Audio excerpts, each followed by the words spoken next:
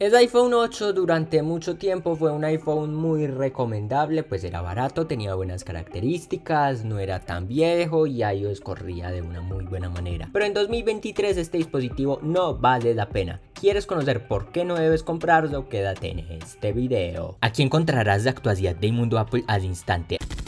Así que suscríbete y te regalaré 10 dólares automáticamente. Bueno, esto es mentira, pero de igual manera, suscríbete, deja tu like y comenta para ver más videos sobre la actualidad de Apple. empezamos.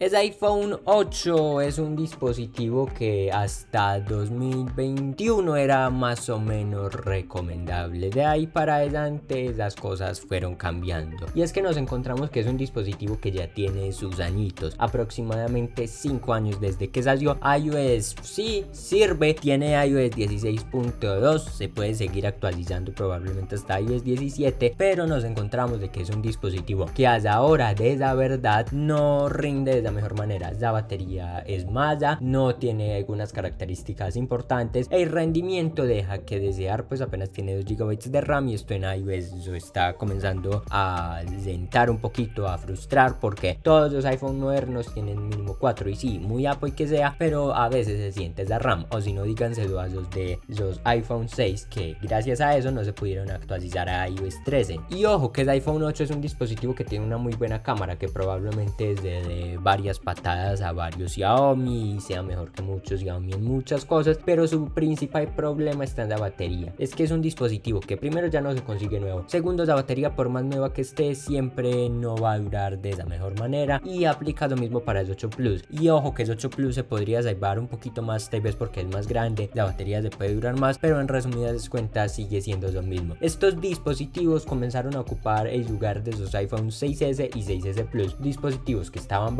pero que no eran para nada recomendables, pues nos encontramos de que ya tienen una gran edad de que están en el mercado, ya tienen 5 años desde que salieron y no son tan recomendables. Y hasta aquí el pequeño video del día de hoy. Si te gustó, recuerda dejar tu like, suscribirte y comentar. Hasta la próxima. Y recuerda que tenemos un grupo de Telegram donde hablamos un poco de todo y obviamente de Apple. El link estará en la descripción, así que entra, es gratis.